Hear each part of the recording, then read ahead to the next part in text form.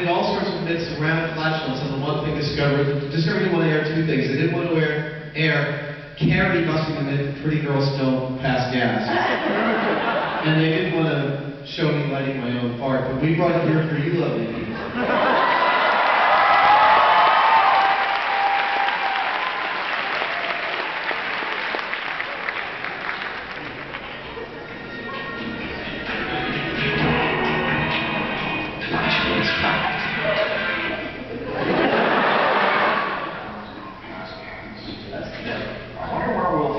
pretty girl. Obviously, finding her is not the problem. It's convincing her to participate in this experiment. I've been thinking about a fairly benign way that we may be able to get started.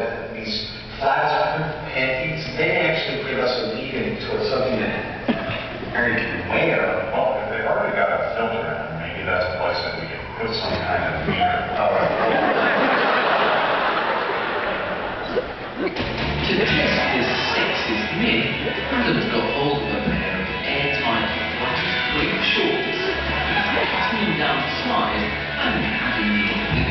Obligatory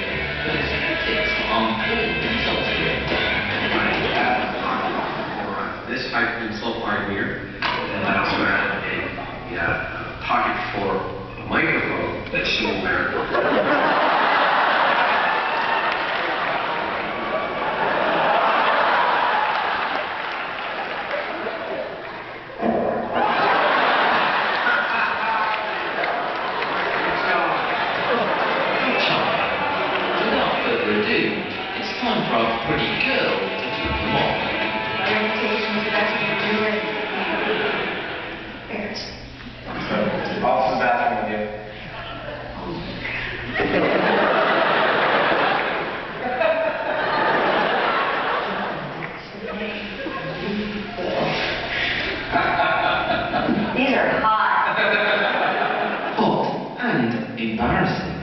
I'm already blushing right now, but when other people see this, I'm going to sleep with my covers over my head for. But there's no hiding now, because as soon as carriers hitch them up, the flatus alarm bells start ringing. There you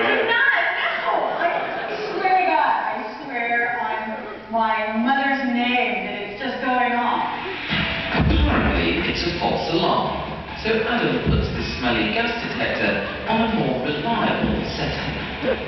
There you go.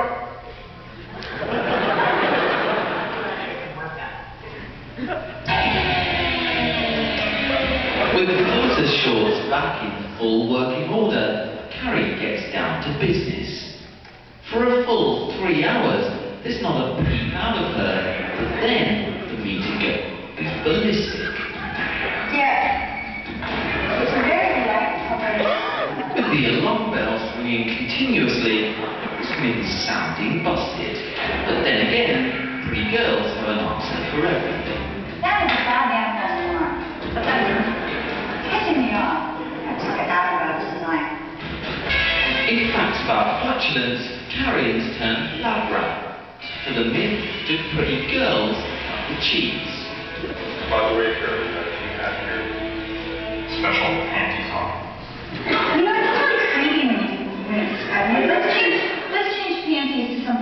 that sounds really creepy.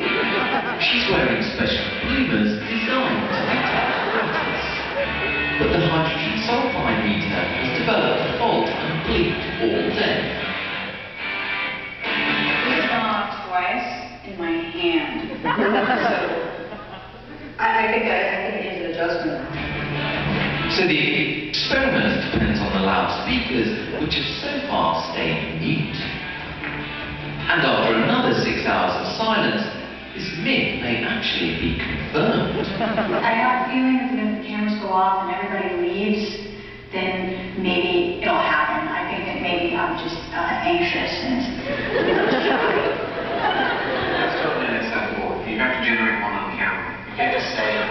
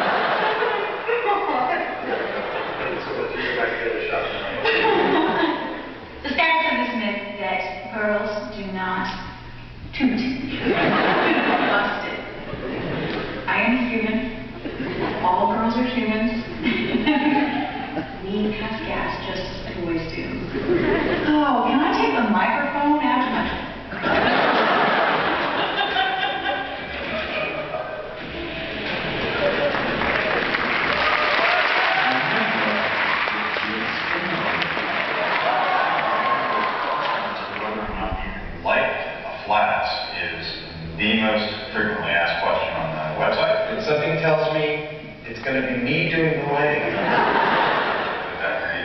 I guarantee you no one's ever caught it on high speed, and I'm pretty sure it's a television first. Make sure you're sitting comfortably because the Mythbusters are going for a television world first to rival the 1969 moon landing. Can you really ignite an air? Any normal person would find this quite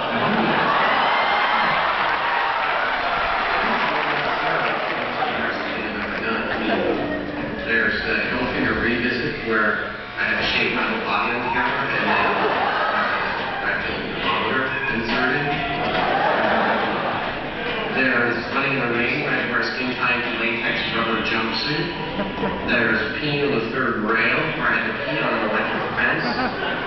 Which was the same day that I had to shave my whole body. And now there's lighting of flatus on national TV. Yes, Feels confident because the earlier gas analysis proved that his flatus does contain a small amount of methane. I've got the lighter, it works. I've got the position. And now, hopefully, we make television history. The lights are ready, the high speed's on standby, but Adam just can't sit and deliver.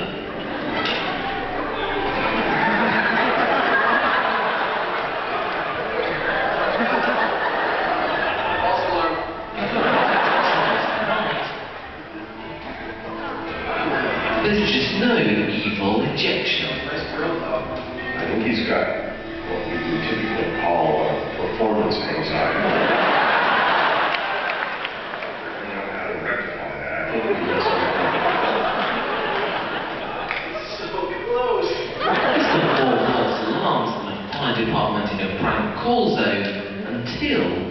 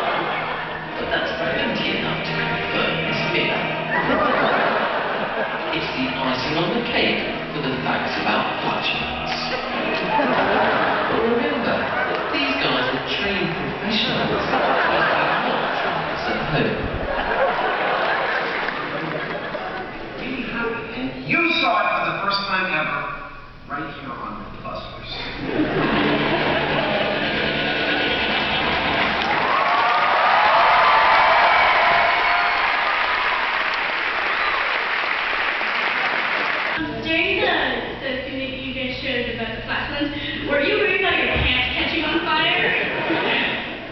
Well, you know, blue jeans, it was this pair of blue jeans actually. yeah. No, I wasn't that worried, but I I had done it before years ago on a bed.